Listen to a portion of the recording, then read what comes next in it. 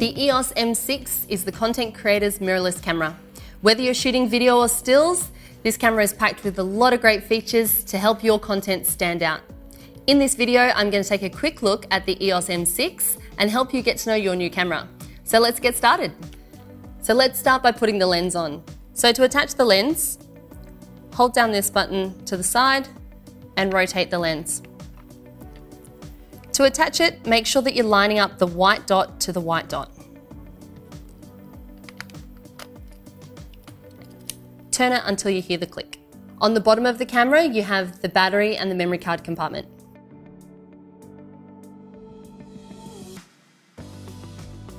To turn the camera on, you have the on-off switch at the top here.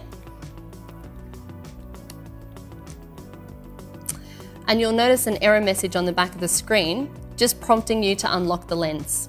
To do this, slide the lens lock button forward and rotate the lens. When you finish using the camera, rotate the lens and lock it back into position. So to do so, again, slide that lens lock button forward and close the lens right down.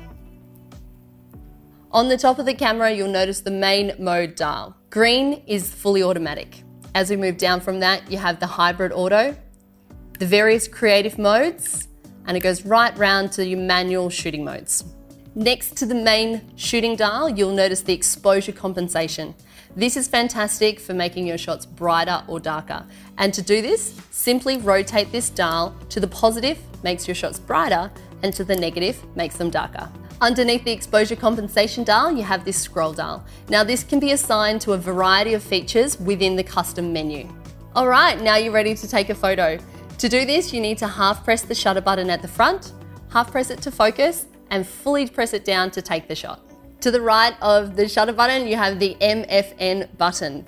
Now, again, this is another button that can be assigned to a variety of different tasks within the custom menu. On the top of the camera, you'll notice a hot shoe. This is for accessorizing with speed lights or an electronic viewfinder.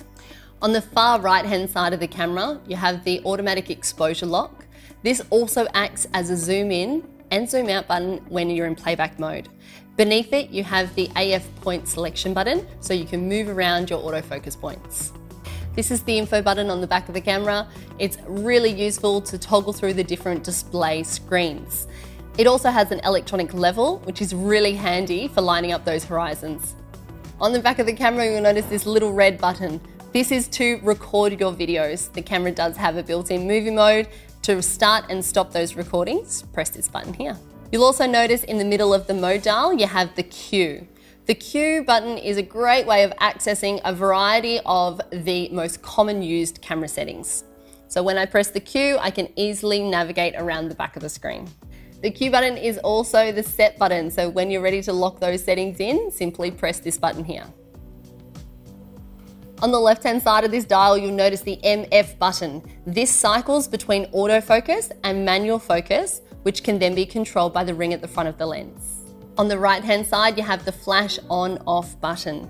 Now to turn the flash on, you simply need to raise it manually. By moving this switch to the side, you'll notice the flash pops up. And to cycle through the various flash modes, simply press this button here. Okay, so you've taken some great shots and you want to look at them. You need to press the playback button. That's located at the very bottom of the camera. It's a blue arrow.